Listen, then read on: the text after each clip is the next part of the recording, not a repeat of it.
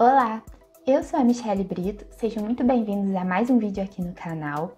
E hoje eu quero falar com vocês sobre o novo projeto que foi lançado agora em março de 2021, que é o Spring Native na versão beta. Então, este novo projeto, ele traz o suporte oficial para compilar aplicações Spring para imagens nativas com o Graal VM.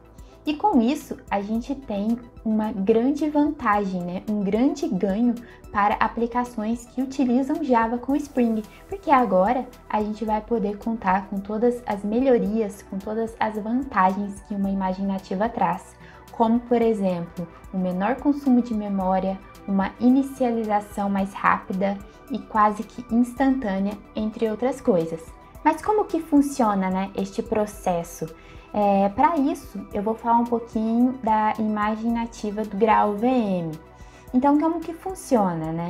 É, com a imagem nativa grau VM, a gente consegue obter um código totalmente autônomo e executável através de uma compilação antecipada.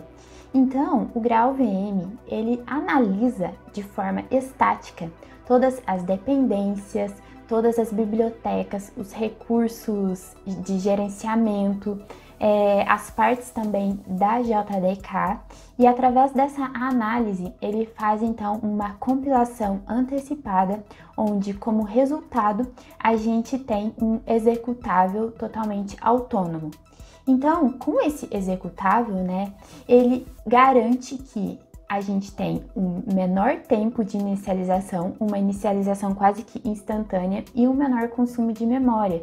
Por quê? Porque para gerar essa compilação antecipada, né, este executável como resultado, é, através dessa análise estática que a GraalVM é, imaginativa faz, ele descarta todos os metadados como classes, é, bibliotecas, as partes do JDK que não vão ser utilizadas, é, partes do próprio código mesmo que não estão em uso, então é tudo descartado. E esse executável, é, ele garante que ele possui tudo para que a aplicação funcione corretamente. Então, tudo que não está em uso, que não vai ser usado através dessa análise estática que ele faz antecipadamente, ele verifica e remove. E o que ele deixa, né, para gerar esse executável é aquilo que realmente precisa para a aplicação funcionar e ele garante que todo o executável ele tem que ser suficiente para executar a aplicação como um todo. E se tratando do projeto Spring Native, é, para quem utiliza o site Spring.io, né, o Spring Initializer, para iniciar projetos Spring Boot, ele também já conta com este suporte para este novo projeto. Então aqui eu vou mostrar para vocês, olha, eu estou aqui no site start.spring.io e Aqui a gente tem as configurações né, iniciais do projeto, que é, no caso, o Maven, a linguagem, a versão do Spring Boot, aqui os dados né, do projeto, é, a versão do Java, entre outras coisas. E agora, se a gente clicar aqui para adicionar dependências, a gente pode ver que a primeira que está aqui em cima em destaque é o Spring Native.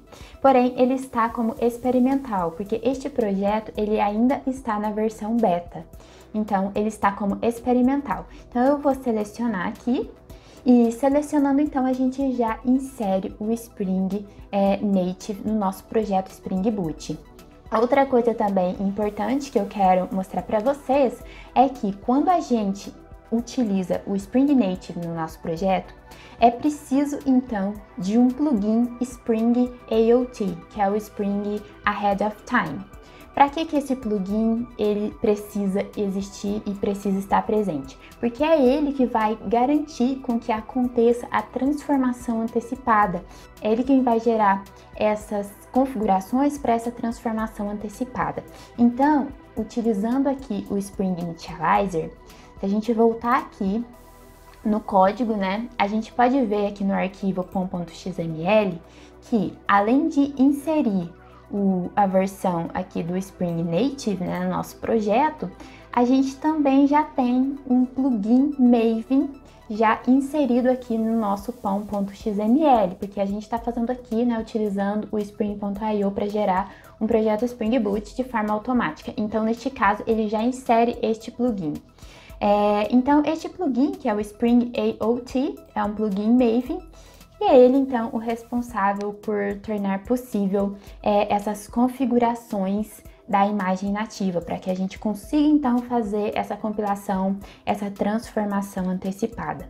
E quando é preciso é, configurações extras para gerar esta imagem nativa, hoje é possível de fazer isso, essas configurações através de anotações, através de arquivos JSON, mas as equipes tanto a equipe da Pivotal, que é do Spring, quanto a equipe do Graal VM, é, para tornar cada vez mais com que a compatibilidade para gerar essas imagens nativas seja maior entre o Spring e o Graal VM.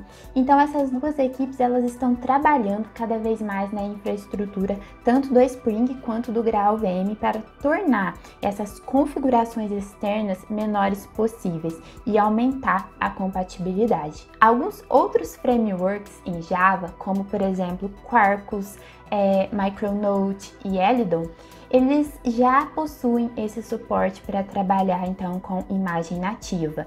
E para as empresas, né, ou qualquer pessoa que utiliza do Spring, agora também a gente vai ter este suporte da imagem nativa para trabalhar com o Spring.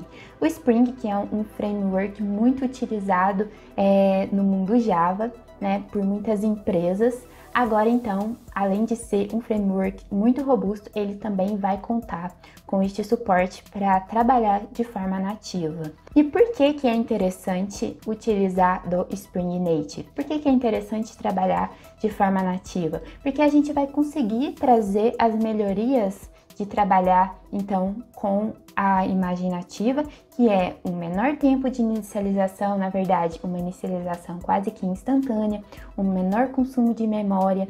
E pense, quando a gente tem uma aplicação é, de microservices com Spring Boot, né, se tratando de dezenas ou até centenas de serviços, é, para compor então essa arquitetura de microservices, quando a gente tem um menor consumo de memória com tempo de inicialização mais rápido, isso reflete diretamente no custo que a gente tem de implantação dessa arquitetura em cloud. Então, se a gente consegue ter uma aplicação sendo executada utilizando menos memória, significa que a gente vai conseguir um melhor custo é, para implantar essa arquitetura, seja numa cloud ou seja aonde a empresa escolher.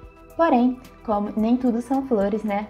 Uh, o projeto Spring Native, ele, além dos muitos benefícios que ele traz, ele também tem algumas limitações em alguns cenários de aplicações. Por exemplo, para aplicações serverless, que utiliza, por exemplo, o Spring Cloud Functions, ele é ideal para estes casos, Porém, quando a gente tem aplicações com execução a longo prazo, quando a gente compara o Spring Native, né, utilizando ali imagem nativa do Graal VM, com a JVM, para aplicações com execução a longo prazo, a JVM, com todas aquelas melhorias que ela faz é, em tempo de execução, ela ainda sai na frente. Então, neste caso, para este cenário de aplicação, a JVM continua sendo a melhor opção. Porém, as equipes, né, como eu disse anteriormente, tanto da Pivotal quanto do Grau VM, estão trabalhando para diminuir essas limitações, para deixar é, que, com que essa compatibilidade seja maior e também para diminuir as configurações extras é, para gerar então uma imagem nativa. Mas isso é um assunto que eu quero deixar aqui para outro vídeo que eu quero trazer aqui no canal, é, mostrando então cenários em que são ideais né, utilizar o Spring Native e cenários que pode ser com que este projeto ele traga limitações para aplicação. Certo, pessoal? Eu espero que vocês tenham gostado. Vejo vocês então no próximo vídeo aqui no canal. Até mais!